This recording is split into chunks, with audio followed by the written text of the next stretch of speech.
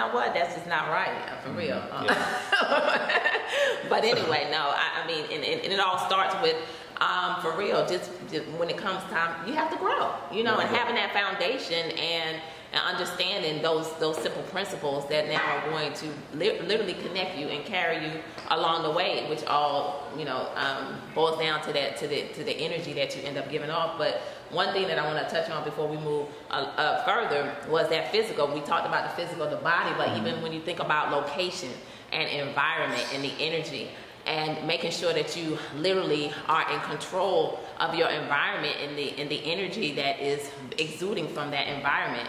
And I could tell you that, you know, many times you just may have to just get up and, and shift the atmosphere. I can tell you that's what we do first thing in the morning. We wake up and we, we thank God for another day and we do what we do spiritually, um, physically, uh, emotionally to grow and to develop ourselves uh, personally, but also we get up and we, we turn things on in our house.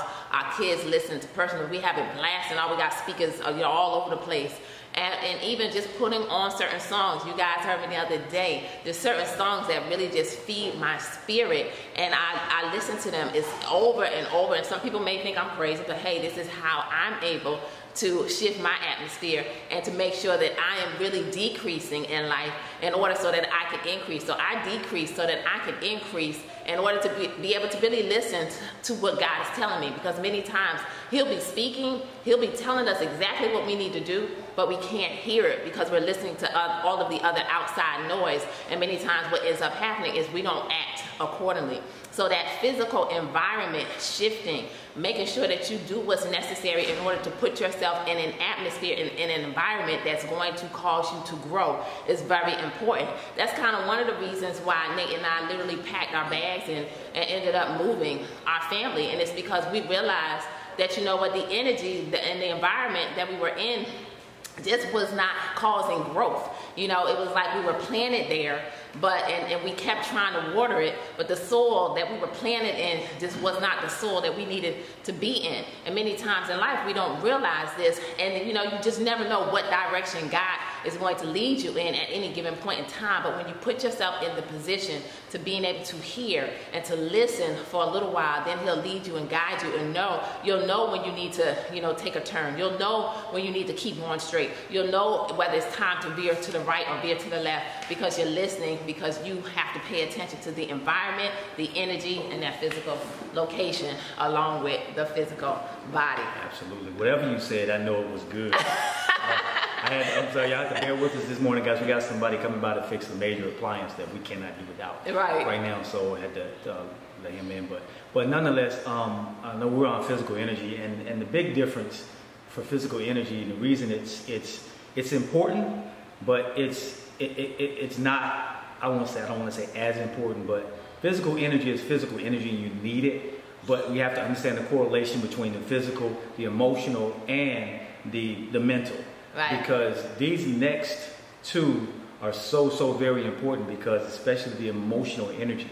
Because you can exert so much physical energy okay by having a, a, a bad diet or just not eating right or not taking care of yourself.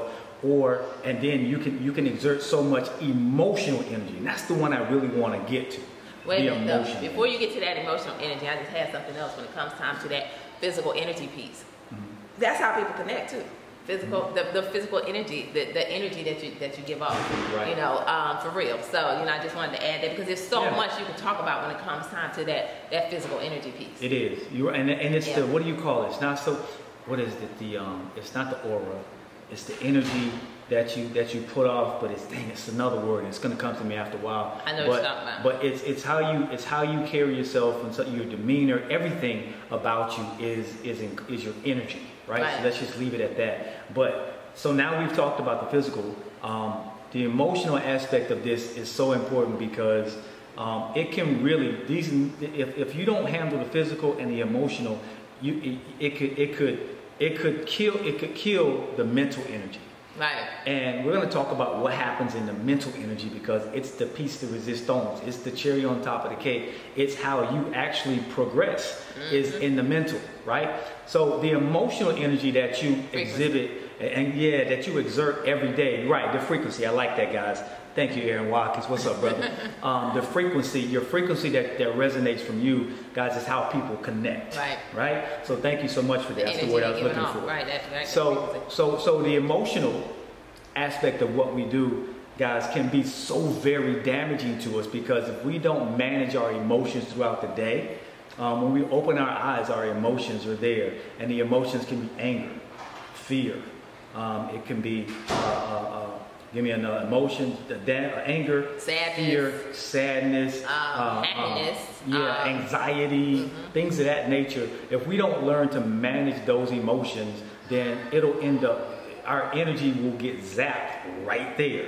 And when you have no, when your emotional energy is so high, every little thing triggers you, and you get emotionally un- unfit with every little thing, and you, Right. you take it all personally. It's like somebody constantly bombarding you with, with hitting you with rocks constantly, and not massaging There your you shoulders, go. but Yeah. hitting you, shooting arrows in you constantly. Right. And and you're like, and before you can even get to the mental aspect, which is where your creative energy comes from.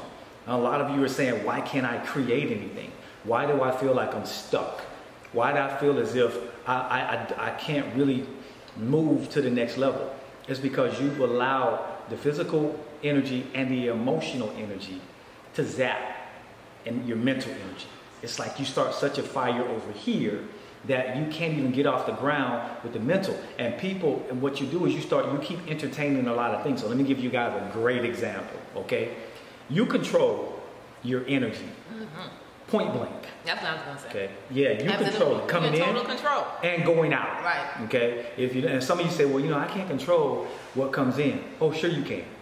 You've got you've got control over your total energy because you are your own person.